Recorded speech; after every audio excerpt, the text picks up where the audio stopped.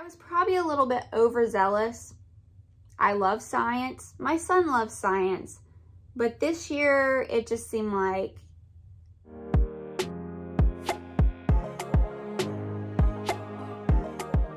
Well, hey there, homeschoolers. Are you about done with your homeschool year yet? I know it has been such a long road, but we are finally done.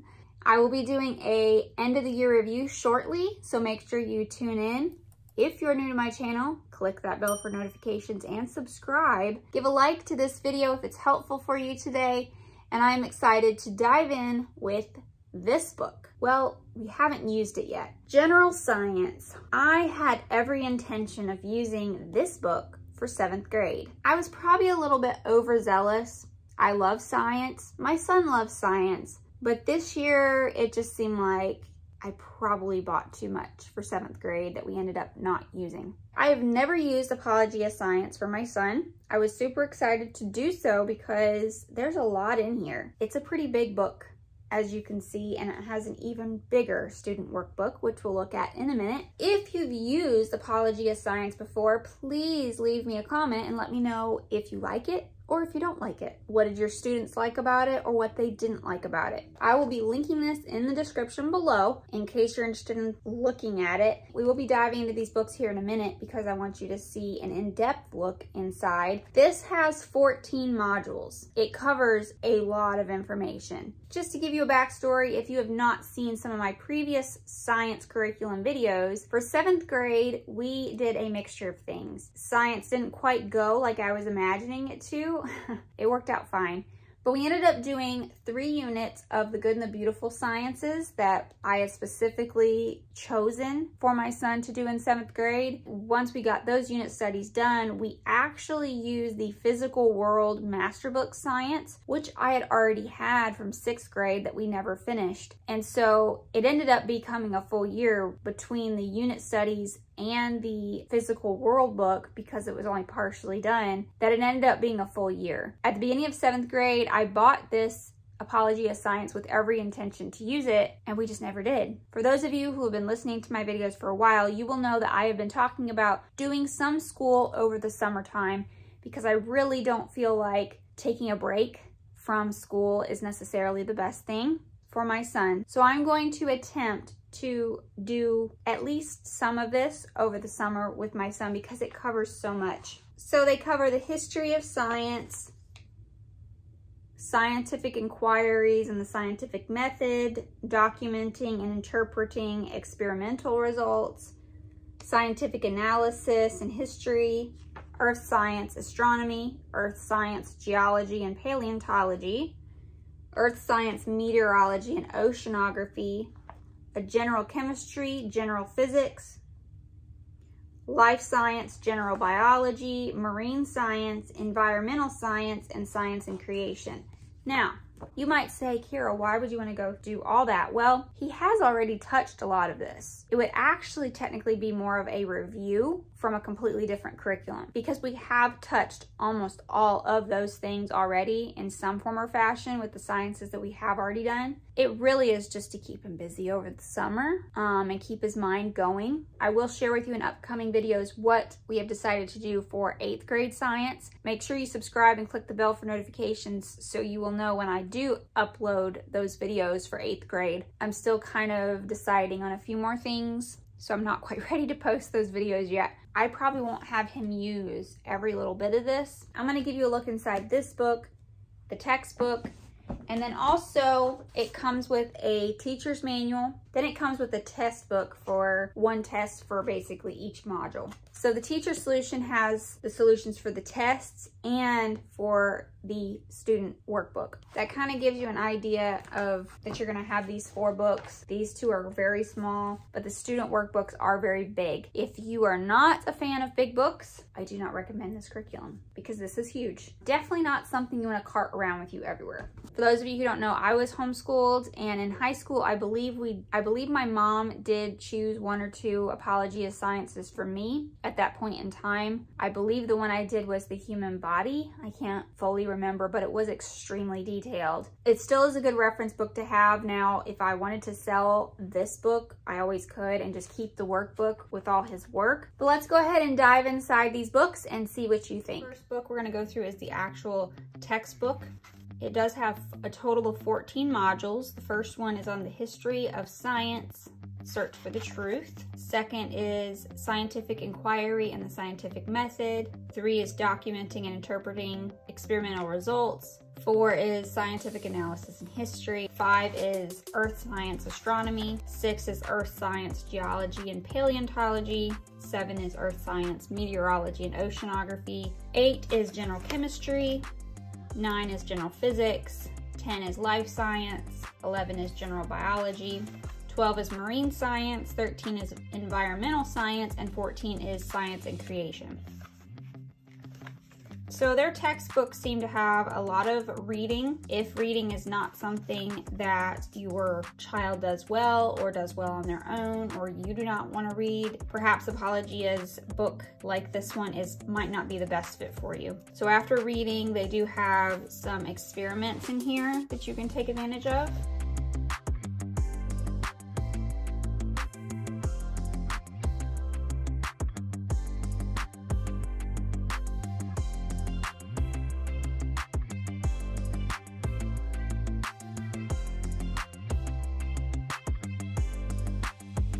Just to note that this is from a creation mindset or Christian point of view. So at the end, they have a study guide for the module.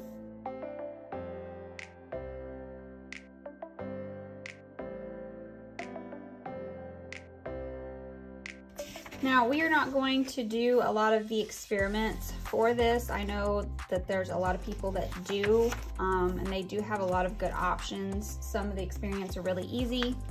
I just don't know how much we will do because it's only my son, and he normally likes to do experiments with other kids just to make it more fun.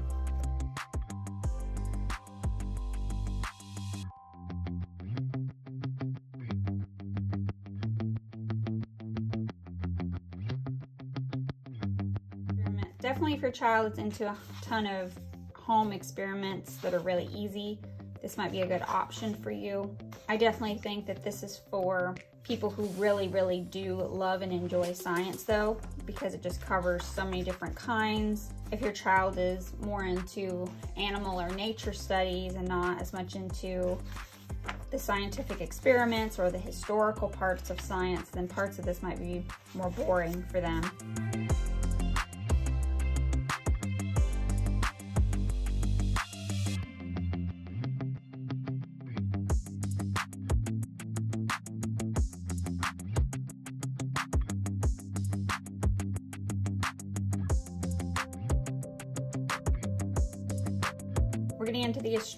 Part of the book.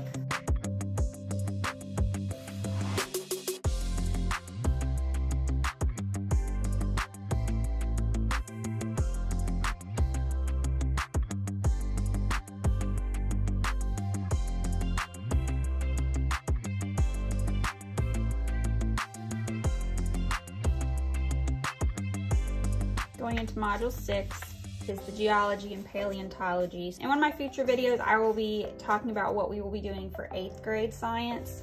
And in the eighth grade science, we're doing a lot of focus in geology and paleontology, fossils, things like that. So this will be just on top of a general science maybe that we've already done that kind of has touched on the fossils and paleontology. This will just reiterate what he's gonna be probably learning in eighth grade.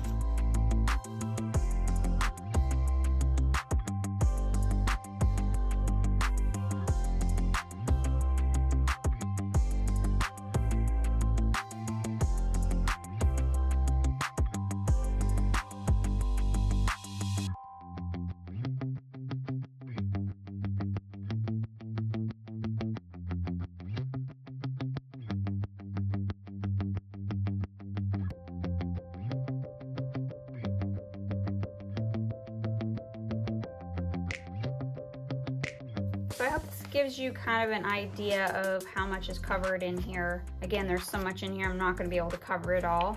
They definitely do a really good job of touching on a little bit of everything. So one thing I like about these general science type books is it kind of gives you an idea what type of sciences your students are more in, interested in because you don't really want to waste your time on certain sciences if they're not really into it. You just want to teach them the basics that they need and encourage them in the areas that are really interesting to them.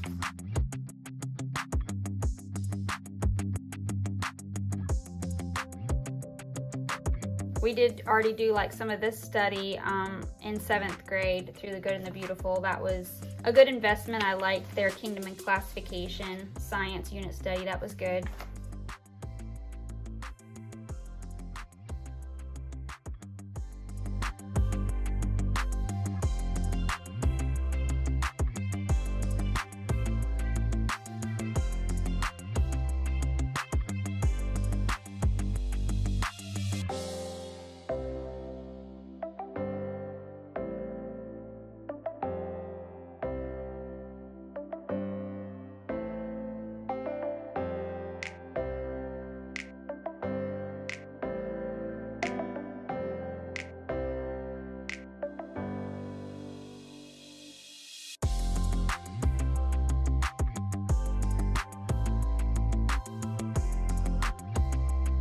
All right, and at the end, you can see a lab supply list here. So that's just a good overview of all the different things you would need to do the different experiments in the different modules. And there's your index in the back.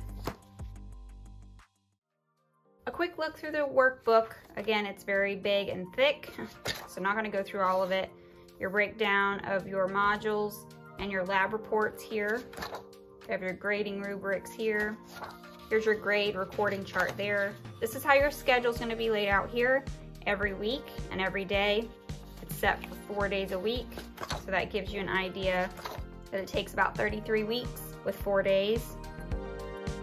Okay, so this is giving you an idea of vocabulary words, summarizing what you learned, things you can do on your own, timelines,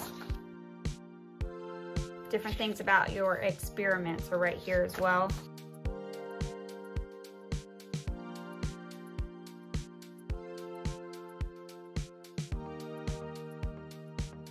gonna skip ahead.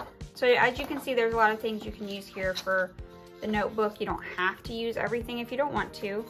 There's definitely some things in here that my son would not be interested in doing. I just want him to communicate more what he's learning about. Some of this he might not actually write down, might just end up talking about it, but at least we have a guide of some facts that we need to go over.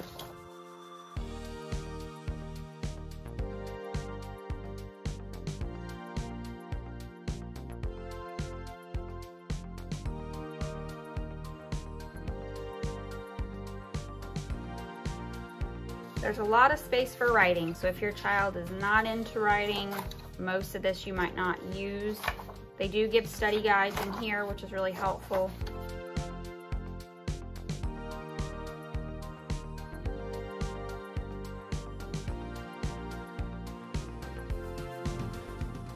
All right, so in the back it has the introduction to labs part. So it's gonna give you more specific details about every lab that you can do, and then it gives you the opportunity to show your results and conclusions. If your students really love labs, this is definitely a book that's going to be good for them because it's gonna give them that opportunity to really write down their thoughts, their understandings, and give them an option to really talk about it.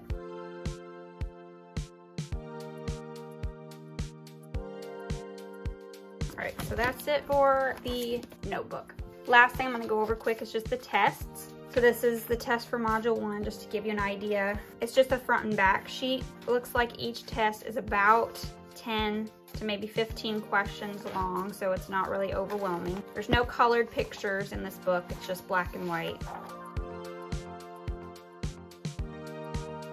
And the solutions and tests are in this book. Okay, so it has your modules here. So these are the solutions for the study guides for every module, the test solutions, and then the solutions for the study guide. So this will kind of give you an idea of the way the teacher solution book is set up.